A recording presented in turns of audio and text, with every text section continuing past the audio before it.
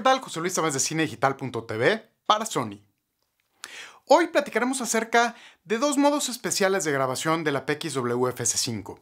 La PXWFS5 cuenta con dos funciones especiales que son sumamente interesantes. La primera de ellas es Slow and Quick Motion y la segunda de ellas es el modo de Super Slow Motion.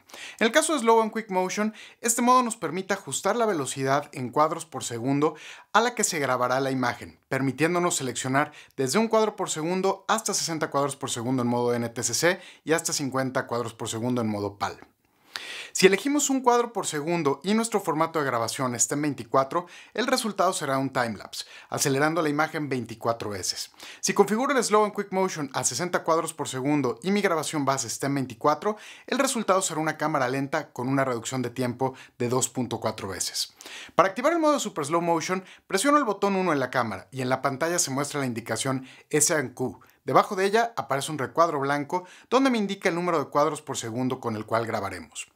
Con el joystick puedo seleccionar desde un cuadro por segundo hasta 60 cuadros por segundo en el modo HD y desde 1 hasta 30 en el modo de Ultra HD. Un punto importante a destacar es que si utilizamos el modo de Slow and Quick Motion para hacer timelapse, es recomendable ajustar la velocidad del obturador a una velocidad más larga para obtener un blur en la imagen que haga que el resultado sea mucho más estético. El otro modo es el modo de Super Slow Motion, que nos permite grabar en cámara lenta hasta 960 cuadros por segundo en bloques de 4 segundos de tiempo. Para entrar al modo de Super Slow Motion, lo que tenemos que hacer es presionar el botón Slow and Quick en nuestra cámara dos veces. Esto activa el modo Super Slow Motion y en la parte inferior aparece un recuadro blanco que nos indica la velocidad en cuadros por segundo a la que grabaremos. Esta puede ser modificada con nuestro joystick y nos ofrece 120, 240, 480 y 960 cuadros por segundo. Cabe resaltar que los modos de 120 y 240 la resolución es completa. Una vez que entramos a los modos de 480 y 960, la resolución vertical disminuye, por lo que es importante hacer pruebas y ver si la calidad de la imagen es adecuada para el uso que pretendemos darle. La forma en la que este modo funciona es almacenando la imagen en un buffer de memoria de 4 segundos en la cámara, ya que resultaría imposible grabar directamente en la tarjeta. Una vez que terminan los 4 segundos, la imagen se guarda directamente en nuestra tarjeta de memoria. Cabe resaltar que para seguir utilizando la cámara tenemos que esperar a que la imagen se grabe en la tarjeta, lo cual puede tomar unos segundos. Existen tres modos para iniciar la captura del Super Slow Motion. Start Trigger, End Trigger y End Trigger Half. Start empieza a grabar a partir de que das clic en Record por 4 segundos hasta que se llena el buffer y una vez que este se llena, el material se graba en la tarjeta SD. El end trigger, la memoria se está llenando de forma permanente y al momento de presionar record, los últimos 4 segundos son grabados a la tarjeta.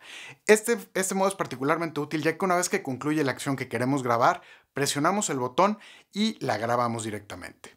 El end trigger half lo que hace es que graba los primeros 2 segundos y los 2 segundos posteriores al momento en el que presionamos el botón de grabar.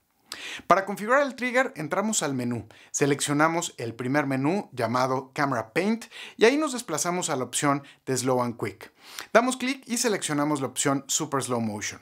Ahí tenemos la opción de elegir el formato de grabación, la velocidad a la que queremos grabar y bajo la opción Rec Timing podemos elegir el modo de captura, seleccionando entre los tres modos que acabamos de mencionar.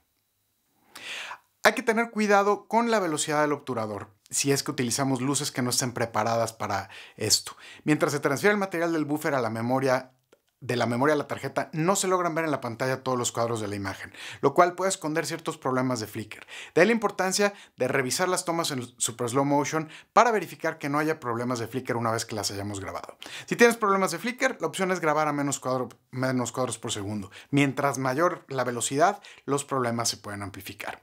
Para más información sobre la PXWFS5, te invitamos a visitar la página de Sony Professional en sonypro-mediolatin.com. Muchas gracias. Adiós.